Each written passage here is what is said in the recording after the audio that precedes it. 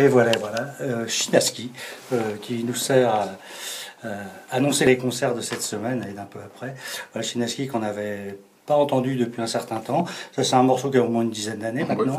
Mais voilà, j'ai choisi un vieux titre. hein. Parce qu'en ce moment, depuis quelques années, il, il fait des, il fait des compos, il fait des choses, mais pas beaucoup de, pas beaucoup de CD et de choses qui sortent en ce moment. Bon, bah voilà. Il fait des petits EP, ouais, Voilà, enfin, c'est bon, mais voilà, il, chante toujours et c'est un bonheur, et c'est avec un certain Melchior Liboa.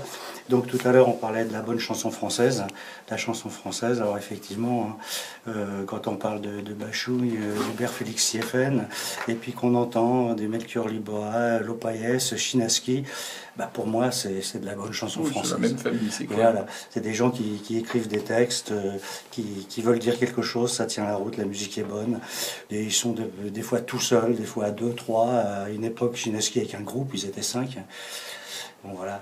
Donc euh, je vais démarrer sur euh, ces annonces de concert. Donc justement, euh, demain, mercredi, euh, Melchior, Melchior Liboa et Chinaski qui passent au Chapco, le Chapco Bar, pour ceux qui connaissent euh, à Nice, c'est une boîte qui fait plutôt dans le jazz, la soul, etc.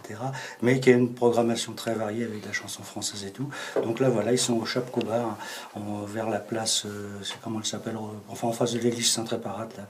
Il y a un bar qui est excellent. Alors c'est 22 heures, hein, le volume c'est déjà tard, mais eux, c'est même pas la peine.